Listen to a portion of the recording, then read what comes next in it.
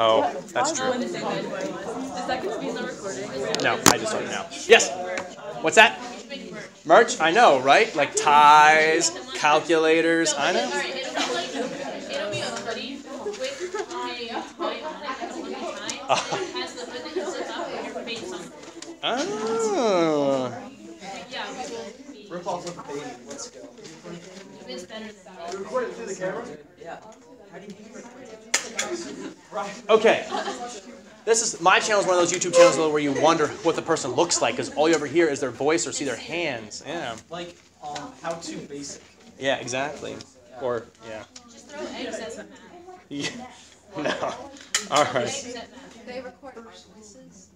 A little bit.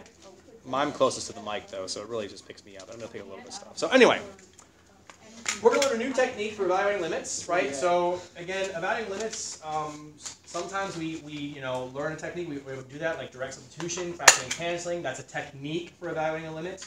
Okay, uh, using algebra. Right? We also, of course, have our technology available to us, so we can use our, our graphing calculators and the table method. That is something we can fall back to if need be. But today we're going to be adding a kind of like another skill to our repertoire um, when it comes to evaluating limits. Okay, so let's take a look at this idea called a rationalization. okay, so let's do an easy one here to start out.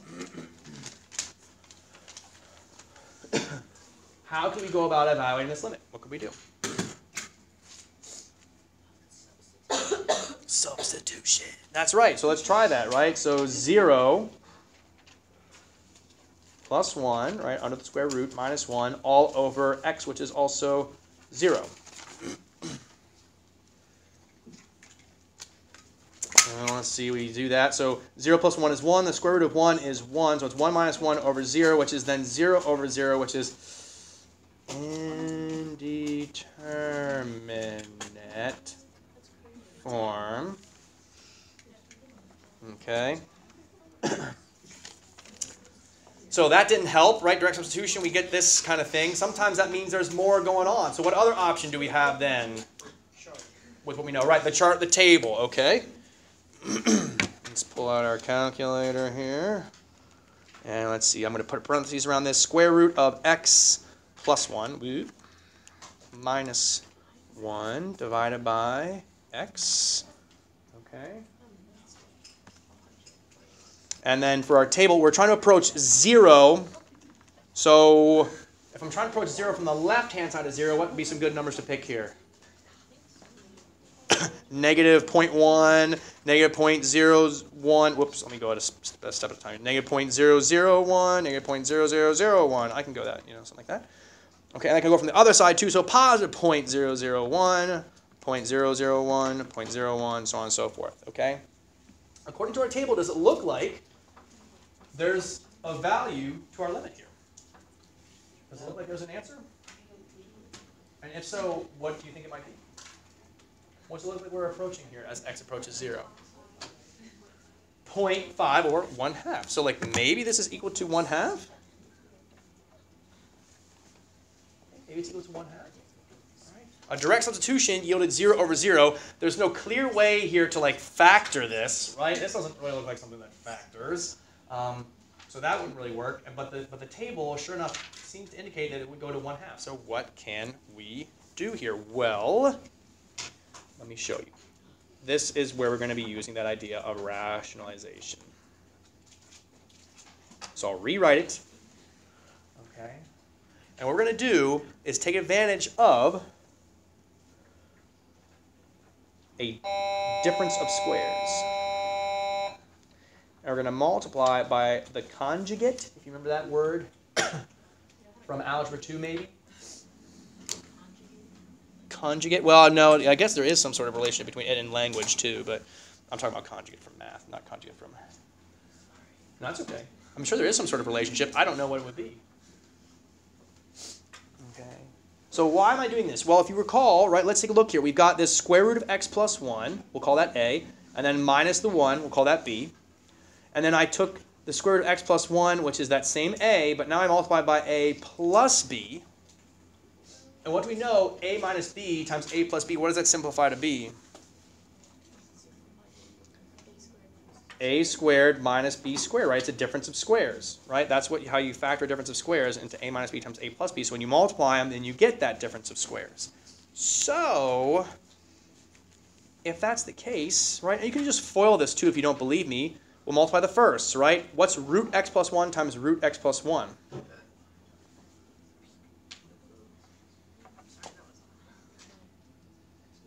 Well, we're multiplying it by itself, so it's going to be root x plus 1 quantity squared, right? Or just x plus 1 if you went ahead and simplified that. But I'll go ahead and write out the, I'll write it out, you know, more explicitly here with more steps. All right, so that was the first. Now the outer, outer is positive 1 times root x plus 1, so plus 1 root x plus 1. And then inner, right, FOIL, inner, so negative 1 times root x plus 1, so minus 1 root x plus 1. And then the last, negative 1 times positive 1, negative 1 all over, and then x times the quantity root x plus 1 plus 1, like that. I would recommend against distributing that denominator, and you'll see why in just a second.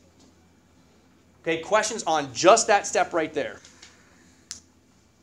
Or anything prior to it, I guess I should say. Any, any questions thus far? We're all okay with the math? Okay. So again, I brought this in out of nowhere. But it's okay for me to multiply by this thing because what, it's, what is its value really? It's 1, right? It's, it's something divided by itself. I'm multiplying by 1. I'm not changing the value of this. We're just utilizing uh, that to write, rewrite in a different form. Okay, so root x plus 1 quantity squared, that leaves us with just root x, or just the x plus 1, right? Because when you square a square root, it cancels out. You're left with x plus 1. What happens to this plus 1 root x plus 1 and the minus 1 root x plus 1? They cancel, right? They're exact opposites of each other, and we have the minus 1 still in the numerator over, and then x times root x plus 1 plus 1, like that in the denominator. okay. There's some further simplification we can do, right? What else can we simplify here? I think they need to see the nurse. the plus 1 and the minus 1, right? They're going to cancel because there's nothing in front of the parentheses. I could really drop the parentheses there and just say x plus 1 minus 1. They'll cancel. And so we're finally left with limit as x approaches 0 of x over x times root x plus 1 plus 1. But oh my gosh, what still cancels? The x's now. So what's left in the numerator? a 1. Okay, yeah, don't forget the 1 in the numerator. Over and the square root of x plus 1 plus 1 like that. Isn't that fun, rewriting that limit as x approaches 0 every single step? Never get tired of it. Are you going to take out points don't do? I want you to do it, yeah. Mm -hmm. Yeah. Will I take points off if you do it for every single problem? No, but if you if you if you do it, uh, I will probably yeah, I'll probably like take a point off or something like that. Why? Because it matters as part of your work there. What if we don't do it and write it only with the final answer? Um, that would be okay if you can jump that much. But if you mess if you mess up, then you're going to lose partial credit points because I won't know what you did. Maybe like you got some sort of math magic there and did it. So, okay, that's not for you. I'm just going to leave it. Because um, that's for calculus stuff. So, um, all right. So anyway, now what should we do? We simplified everything, but now what? Now let's try a direct substitution. Okay, so we're going to have 1 over the square root of 0 plus 1 plus 1. 0 plus 1, 1. Square root of 1, 1. Plus 1, 2. And we get that 1 half that we thought we should have steps. Okay? So there, in fact, is that 1 half that our calculator gave us. Okay, right there. Okay. Questions on any of that? Okay. If this is too much writing for you, and you're thinking about doing calculus next year, you may want to rethink. Okay?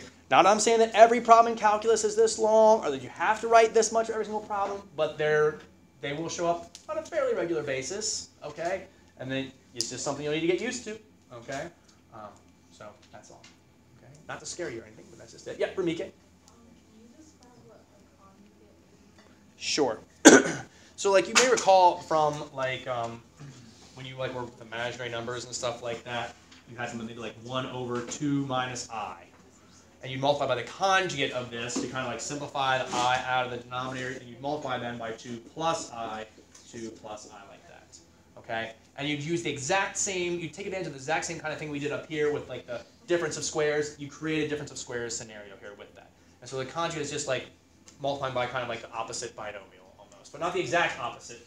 Just like if you have a minus one, just make it plus one kind of thing. Okay, that's all. So yeah. Speaking of writing a lot, would we ever have to do proofs ever again?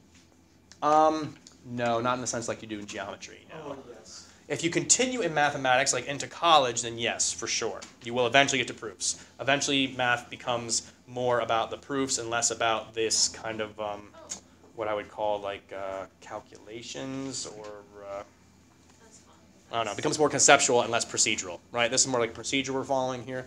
It becomes more conceptual. So, yeah. Yeah. Yes. Awesome. Sometimes it's awesome when the proofs make sense. Okay. Let's try another one.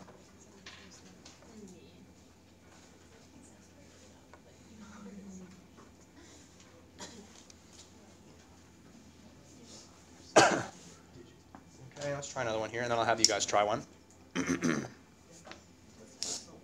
okay, now, you may kind of get, you know, you may kind of like get into the habit of once you see a square, and that's supposed to be 3 minus the square root of x plus 7 there. I don't know if I did a very good job of showing that. 3 minus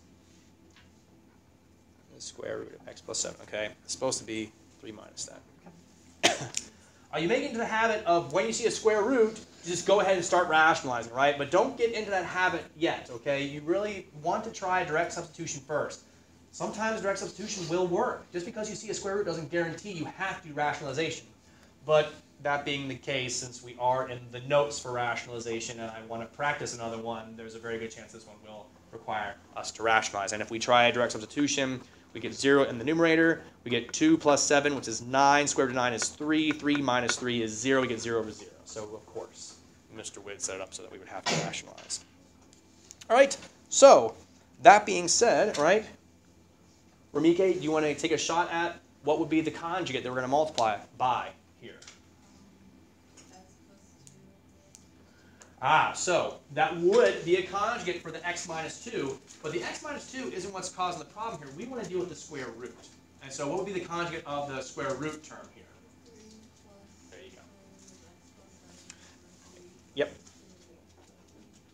Yes, very good. We want to multiply by 3 plus root x plus 7 over 3 plus root x plus 7 there. okay, that is what was giving us the issue. So. I didn't leave myself very much space, so I'll just continue down here.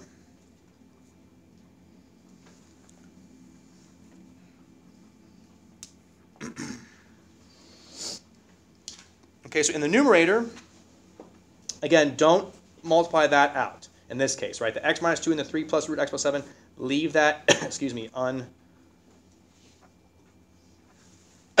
undistributed. In this case, it's in the numerator. Okay? And the denominator, well, again, we're going to have that difference of squares situation, right? So the first will be 3 times 3, 9. Okay? The outer will be a positive 3 root x plus 7. The inner will be a negative 3 root x plus 7. So that middle term is going to what? Cancels out, right? And so then we're just going to be left with minus the quantity root x plus 7 squared, right? A negative root x plus 7 times a positive root x plus 7 is going to be minus root x plus 7 squared, okay? I left out writing out the actual middle term and canceling just because it's more writing than we need to do. You can skip steps if you'd like to, you know, kind of. All right, let's simplify here then. Again, leaving that x minus 2 and leaving the 3 plus the root x plus 7 in the numerator there. All right, so x plus 7 quantity squared 9 minus the quantity x plus 7. Excuse me. Okay. Which then if we distribute the minus sign and combine like terms, there we end up with the limit as x approaches 2 of x minus 2 times 3 plus root x plus 7 all over. And then this is going to be, so what will be in the denominator now at this next step? what are we going to have? The minus sign would distribute, and so what will be left over when we combine like terms and distribute that minus?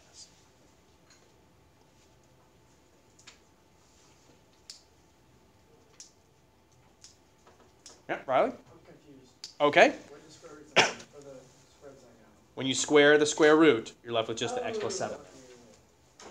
There's a lot going on, yeah. Okay, but but my question still stands.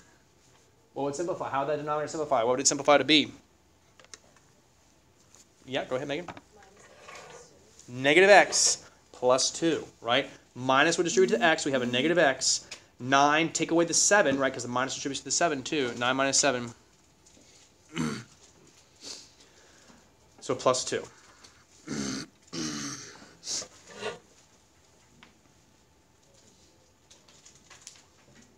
Okay. Uh-oh. We have x minus 2. We have negative x plus 2. They don't cancel. But, Megan? Two plus negative one.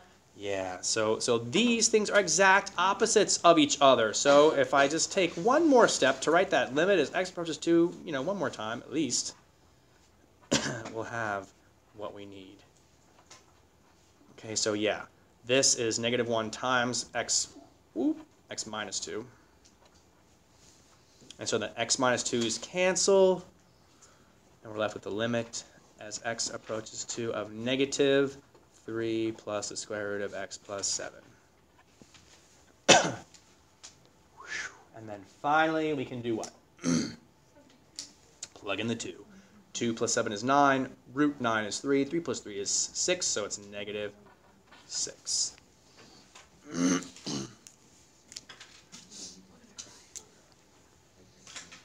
yes, tears of joy Yes. for how fun this is.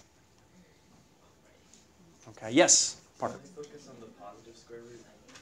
Because couldn't it equal negative three, then zero? Say, say, say it again, sorry? When you add, when you substitute x with two and square root nine, wouldn't it be negative three too? Oh, I see what you're saying. So, um, question is, Mr. Wood, in certain situ- situations, certain scenarios, you seem to be, well, Mr. Wood, you seem to be kind of like, you know, contradicting yourself. In certain situations, Mr. Wood, when you take the square root of something, you're like, uh, uh, uh, don't forget that plus or minus. But now here, where I'm taking the square root of this, I say, oh, it's three, not negative three. What's the difference? Well, it has to do with whether we are in an equation or whether we are just kind of coming across the square root of 9 in the wild, so to speak. Right? So when you see like a wild root 9 appear, that is just 3. Okay? Because we take the primary root to simplify this. So like if you were like doing, you know, if you were given a problem like, okay, what is, you know, this plus this minus 2 times 3 to the second, you know, doing whatever kind of thing, that would just simplify to 3. But of course then in the equation situation, the difference is that in an equation you're trying to find all the possible values of x that make the equation true. That's why you want to put the plus or minus 3 there. For this, we just take root 9 to be 3. That's it. Okay? So, is that, you, do you, I mean, do you believe me on that or do you buy what I just sold you there, I guess? Okay, because that's basically the idea, okay? Because I had that question too, and I was like, huh, and I looked it up, and yeah, it's just, has to do with the, using the primary root. All right, any other questions for me before I give you one to try on your own? No? Oh, you guys are just eager to try one? Gotcha. All right, here we go. Limit as x approaches 0 of the square root of x plus 9 uh, minus 3 all over x. Yes. are we doing anything with this graph? Yes, we will be on the, uh, just in the next, like on what we're going on the back. So yes. Yes, I know. I know, Cooper. It's very exciting. Very exciting day for a Monday. Oh, and I'm, are there discrete TenMarks due tonight? Uh, yes. Only if you procrastinated them to the last minute. I, I did. Cooper, I'm going to give you a clipboard and you can tell me how much you deserve, you think you deserve.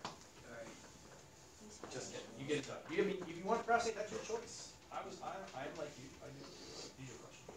No, I was just saying, Lisa's trying to be honest. That's right, that's right. And he's gonna get it done still. He still has time to get it done. He's not late.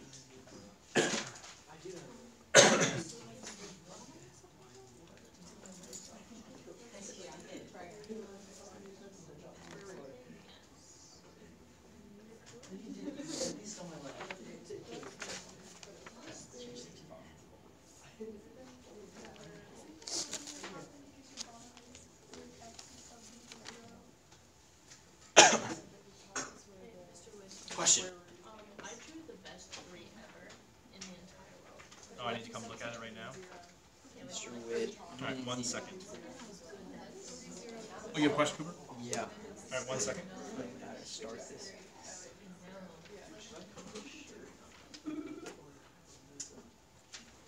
You're not sure how to start it? Multiply by the conjugate. Okay, I do get that. So I see this. It's gonna be square this, right? Yes. So you're gonna multiply by root x plus nine plus three. Out of line. I got minus that. Oh, Okay? x plus. Yeah. X plus nine. it's it's but then minus, minus you minus nine. Yeah, it's good here.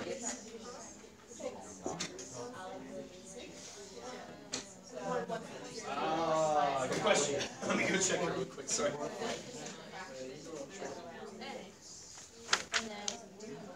It's, should be one over your, when they cancel, right, because there,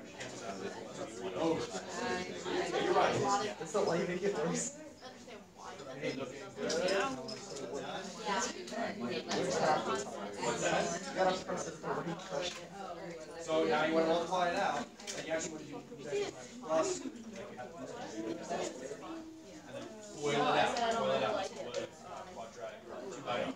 Are you supposed to FOIL out this? Do you, what do you do?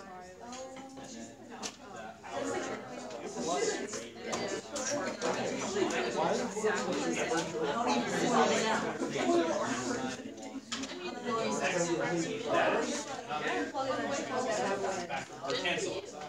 can't FOIL when there are. Yes, you can. Mr. Mike, how do you, how do you FOIL that? So, First up, I want this reversed. It's a big game.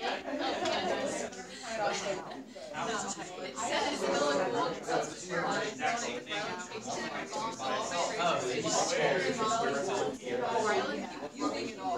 alright, sorry, where's that three? Best three ever. Like, let's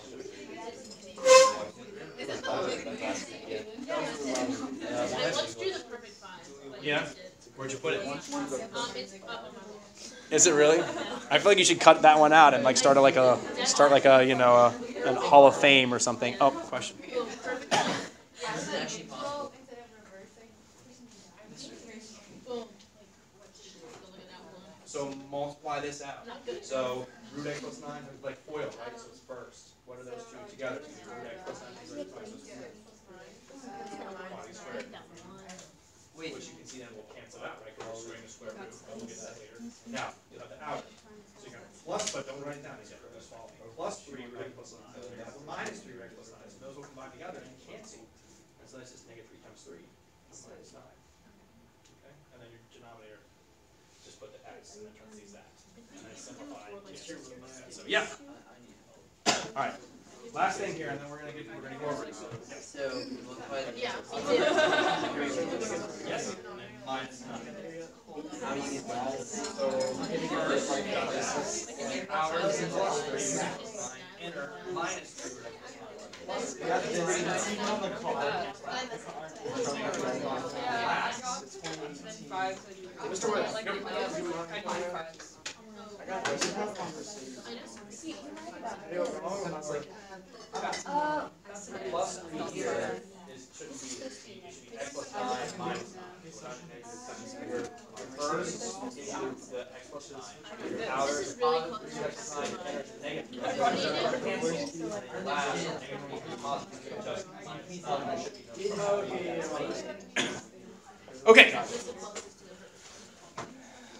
Do, do, do.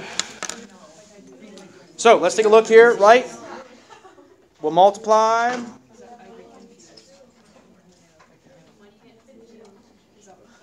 Whew, there it goes. Okay. Actually, I'll just continue in the red, I guess. When you FOIL this out, you get x plus 9 minus 9 over x times the quantity x plus 9 plus 3. The 9s will cancel, the x's will cancel, and so then you plug in the 0, and oops, I'm not going to do that anymore. 1 over the square root of 9 plus 3, which is 3 plus 3, so 1 sixth is your final answer there. Okay. Okay. Questions on that last one there? We're going to flip over to the back if not. Oh, we didn't do the nines. Oh, wait, never mind. No questions? Okay.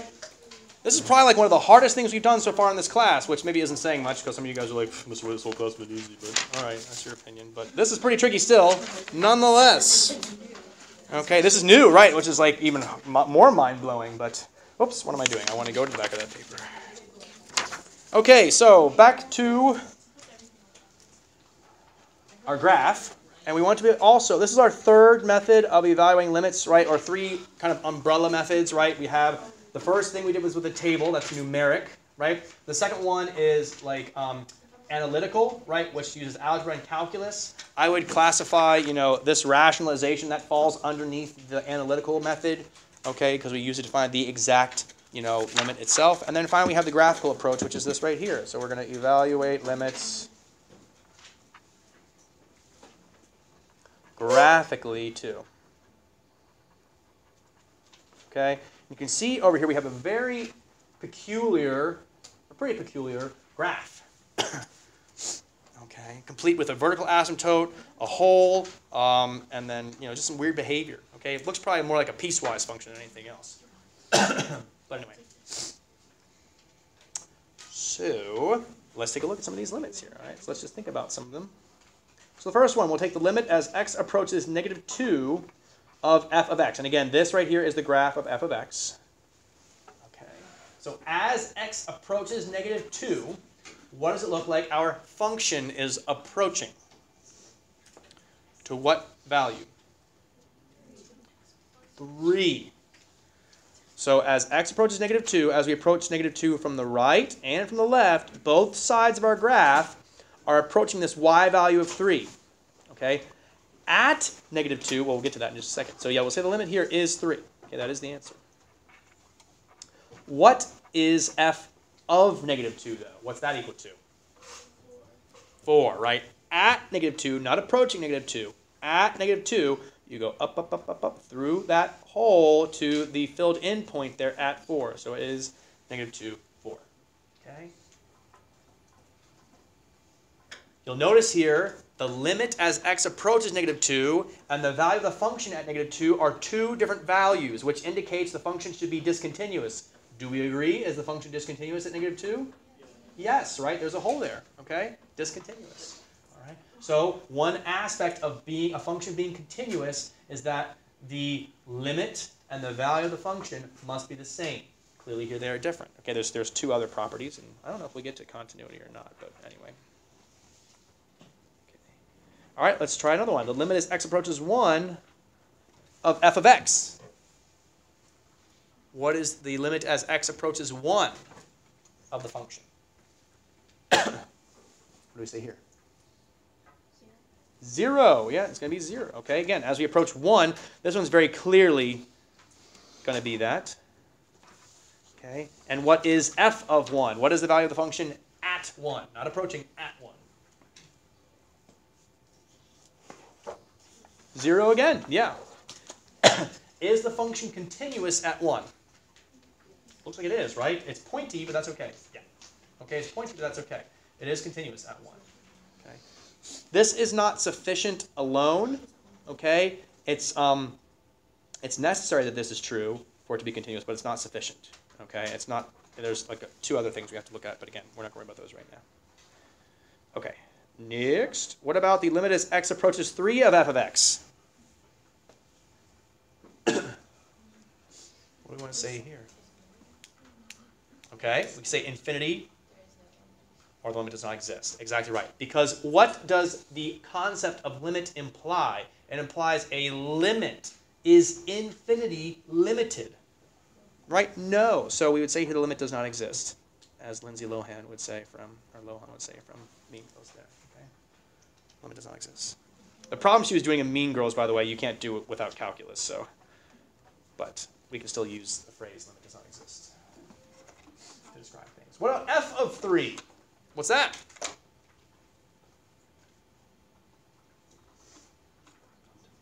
Undefined? Yeah, undefined. I'd also accept does not exist there too. Okay, there's an asymptote there. okay, except either one. Both are accurate. Okay. So what's what am I trying to what can I summarize here? Well, what's the point I'm trying to make with this? There is a point actually.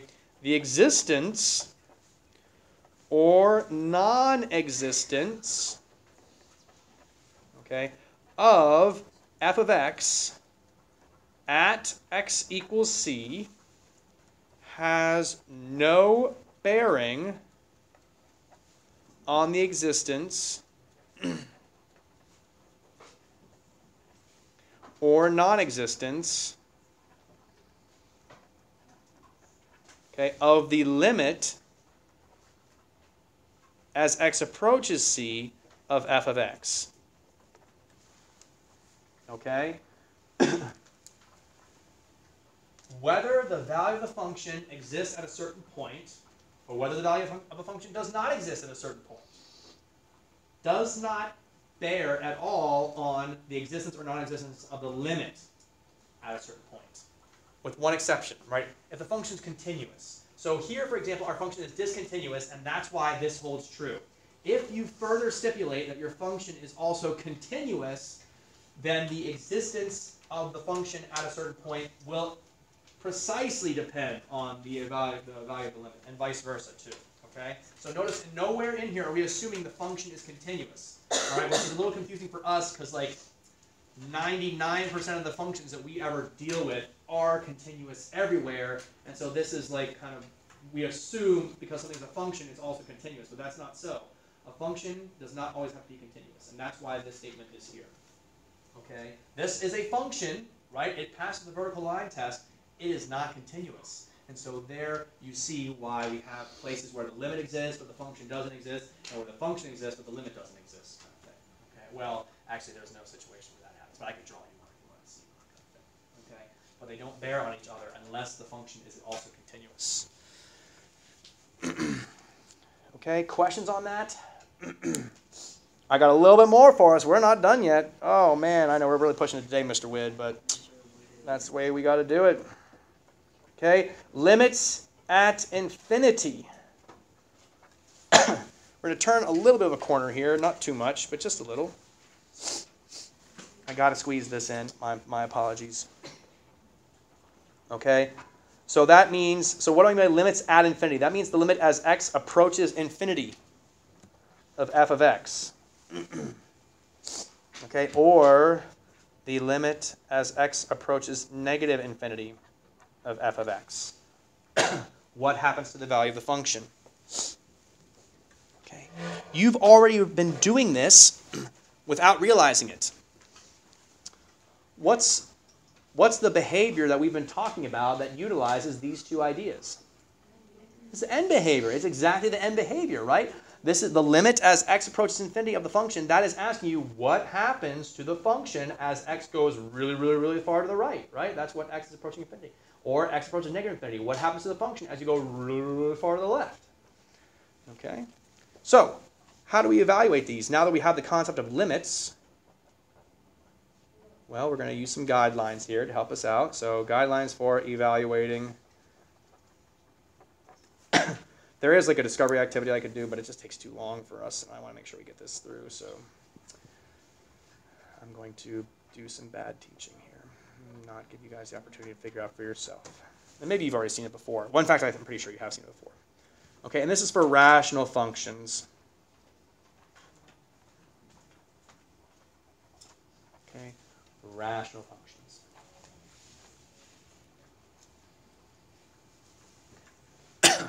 so this is how we can evaluate limits at infinity for rational functions.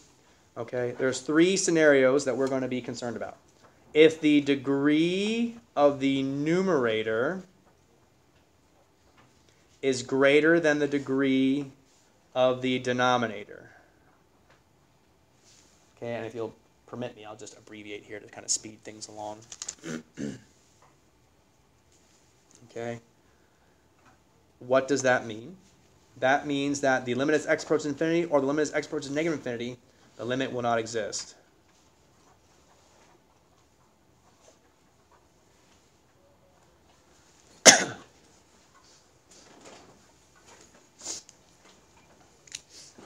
Okay, for an example of this, we can think back to all those polynomials that we did, right? All those polynomials, they had a, they had a numerator, but they didn't have a denominator, right? They, they weren't they were over one, you could say, and the degree of over the degree of one is zero, right? So all of our polynomials, they have bigger degrees in the numerator because they are just the numerator basically. The denominator is just the degree of zero. And so your numerator's degree is always greater, and that's why we end up with that end behavior that goes off to positive infinity or goes off to negative infinity, right? And therefore the limit does not exist, okay? limit does not exist. Number two, right? So there's other scenarios. For example, if the degree of the numerator is the same as the degree of the denominator. Again, I'm going to abbreviate there just to make it easier for ourselves. okay, the limit is equal to the ratio of the lead coefficients. So here the limit will exist. Okay? If the degree of the numerator and the degree of the denominator are the same, what that means as you approach infinity, the numerator and denominator are kind of getting bigger at the same rate. So while you do have a big, a big numerator, you're also dividing by a big denominator. And so it's going to work out that those ratios are going to be exactly equal to each other. So it's just the ratio of the lead coefficients will be your final answer for the limit. And that's where we get the idea of a horizontal asymptote and stuff like that. And then finally, our last scenario, if the degree of the numerator is less than the degree of the denominator, or in other words, if the denominator's degree is bigger, well, what happens if you have something that's got a large denominator and the denominator is getting greater and greater and greater than that numerator? What overall, what's the overall value of that going to approach?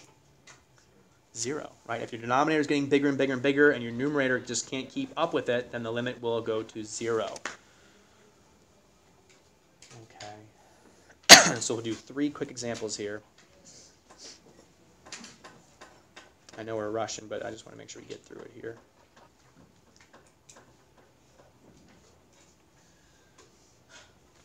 Okay.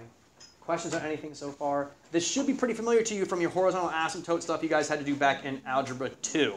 Okay, but now we're putting it in the context of limits because that's really what you're doing when you evaluate a horizontal asymptote. You're finding the end behavior, which is merely the limit as x approaches infinity or the limit as x approaches negative infinity. All right, so I'll do three examples here. So the limit as x approaches infinity of 2x plus 5 over 3x squared plus 1. Okay, and I'll try and slow down here because I know you guys are trying to catch up. So, okay, 2x plus 5 over 3x squared plus 1.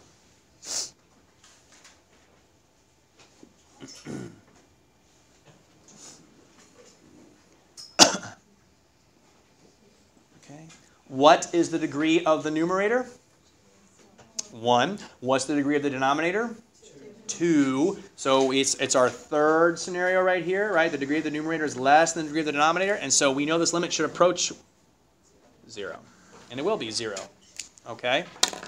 If you, whoop, if you um, think about it here, right, that denominator is going to be squared, right? If you imagine kind of like substituting in infinity here, infinity gets squared as opposed to just 2 times infinity, okay? So infinity squared, much bigger than infinity by itself, and so that denominator gets bigger much faster, so it goes to 0.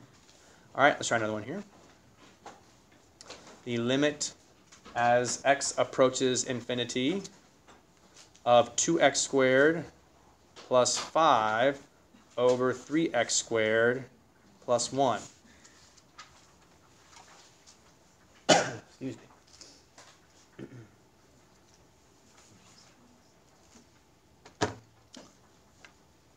What's the degree of the top here? 2. Degree of the bottom? 2. So it's that second case. Degree of the numerator is the same as the degree of the denominator, so it's the, the ratio of the lead coefficients. So in other words, this is going to equal what? 2 thirds. Yeah, that's all there is to it there. Okay. Now you can probably guess which scenario we're going to end up with for this last one. Okay. Limit as x approaches infinity. 2x to the third plus 5 over, excuse me, 3x squared plus x plus 1. okay.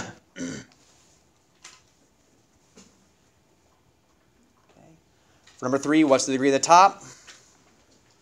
3. Degree of the bottom? 2. So we say this thing is going to go to infinity. But Mr. Wid, wait a minute. This denominator has an x squared. It's going to be infinity squared, but it's going to be plus infinity. This is only infinity cubed. Are you trying to say infinity cubed is more than infinity squared plus infinity? Yes. Yes. As numbers get larger, cubing a very large number is going to be way more, you know, uh, I guess, powerful, I guess, or sub, sub, substantial than squaring it and adding it to itself. Okay? if you're unsure, you can also use your calculator here to check this out. So let me just show you, for example, 2x squared plus 5 over 3x squared plus 1. Okay, you can go to your table on your calculator. How can I mimic on my calculator approaching infinity, my x value approaching infinity? What should I type in here? Yeah, just like larger and larger numbers, right? Like a uh, 10,000, or, you know, just, oops, I kept a. Right, and your calculator basically just like gives up. It's like, there it is, right? That decimal is 0.6 repeating two thirds. Okay? so you can also use your calculator to help you figure that out too, or check your work, I would say. So there we are. Those are the horizontal asymptotes as well, and we'll make more connection with that um, in a little bit too. But for right now, that's that's sufficient for what we need. Okay, your homework will be posted to Google Classroom. So, oh yeah, Megan, sorry, question. Um, I don't know if you have time to answer this question. We'll try. How would it differ if it So in each one of these cases, um, it would, so for example, this case, you'd have negative number divided by a positive number, so it'd be negative, but since the denominator is going to get bigger, if you approach zero from the negative side or positive side, it's still going to go to zero. Like the denominator here will still be going towards zero because you're still dividing by a very large negative, or sorry, it's still a large number, but it'll be negative, but still go to zero. For this one, they're both the same. So since they're squared, it's going to be positive over positive anyway. But let's just say it was like cubed and cubed. Well, you still have then a negative infinity over a negative infinity. The negatives would cancel. You'd still be positive anyway. So it still go to whatever the lead coefficients are. Because it would cancel. And then for this one, uh, same idea. It's just it would be so in this case it would be negative infinity. It would change if it was if it was like a negative infinity here. This would go to negative infinity. But you would still say ultimately the limit does not exist. But this one would be a negative infinity. And the reason for that is because